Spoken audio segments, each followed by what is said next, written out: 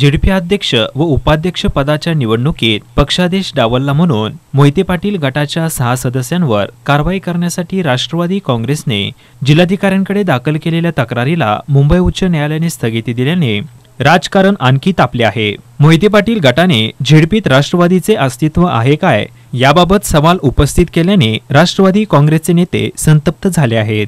उच्च न्यायालयात राष्ट्रवादी पक्ष झेडपीत कायदेशीररित्या अस्तित्वात नाही. त्यामुळे या सदस्यांना व्हीप बजावणे कायदेशीर नसल्याचा आक्षेप घेण्यात आला. तसेच जिल्हाधिकारी कार्यालयात झालेल्या सुनावणीबाबतही आक्षेप घेण्यात आले.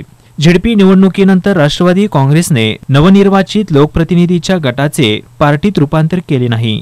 असे निदर्शनाला आणले. त्या आधारावर या सदस्यांना उच्च न्यायालयाने दिलासा दिला. या निर्णयामुळे इकडे झेडपीत राष्ट्रवादी काँग्रेस पक्षाच्या अस्तित्वावर प्रश्न निर्माण झाला आहे. या निकालावर प्रतिक्रिया देताना राष्ट्रवादीचे जिल्हाध्यक्ष बळीराम साठे यांनी उच्च न्यायालयाच्या स्थगितीविरुद्ध सर्वोच्च न्यायालयात दाद मागू असे म्हटले आहे. तर यावेळी राष्ट्रवादीचे जिल्हाध्यक्ष बैराम साठे काय म्हणाले ते पाहूयात.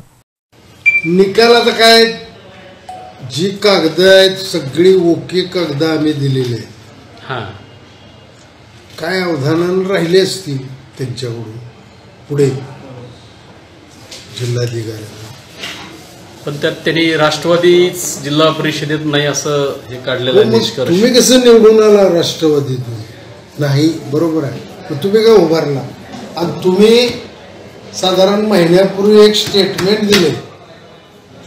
की मी राष्ट्रवादीचाच आहे. हे कसं दिलं? हा. दिलं ना? हम्म. दिले की? पेपरला आलं होतं. हो. त्यावेळी मी पण म्हणलो दादा राष्ट्रवादीत नाही. त्यावेळी. हो. मग ते राष्ट्रवादीत असल्याशिवाय असं म्हणू शकतात का? आम्ही आता आम्ही पुढच्या ह्याच्यात जाणार. कोर्टात सुप्रीम कोर्टामध्ये.